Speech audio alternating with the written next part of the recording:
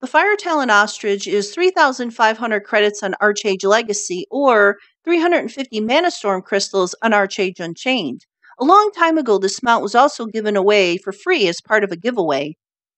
In the marketplace, where it's marked bonus on the top of the icon for the mount, that means that when you buy the mount, you'll get the armor to go along with the mount as part of a package.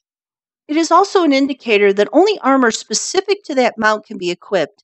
Any dungeon armor for mounts that drop out of Hadir Farm, for example, cannot be equipped on these specialized mounts.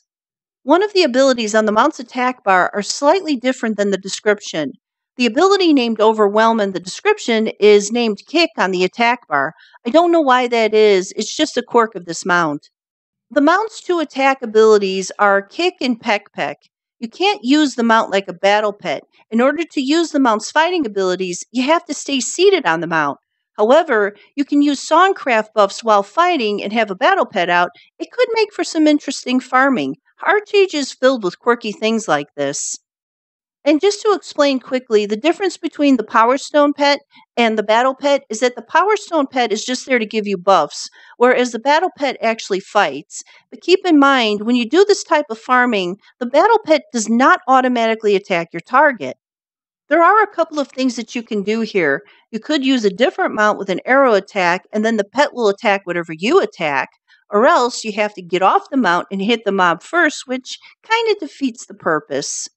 I don't know why that is because you're on a mount attacking the mob with the mount's abilities. It doesn't make a whole lot of sense that some mount's abilities will trigger the battle pet to attack while others won't. Another way to get the battle pet to attack while you're on the mount is to choose a mob that has an area effect spell. Once the pet is attacked, it will aggro onto the mob. If not, the pet will just sit there looking stupid. While this mount goes fast on land, it does slow down greatly in water to 2.2 to 2.6 meters a second. The mount speed starts off at 11.5 meters per second. With its full set of armor, speed increase gems, and Songcraft buffs, it can go even faster. The gems for the pet armor are the same gems that you buy with honor points for your own gear.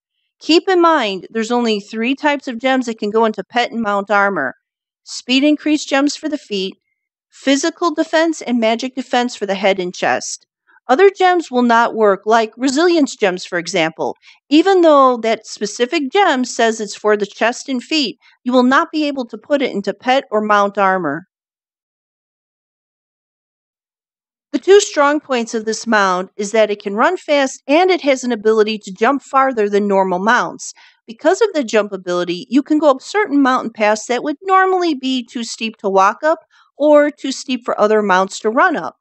You'll just have to figure out which ones you're able to do through trial and error, but it is possible to get up some of them.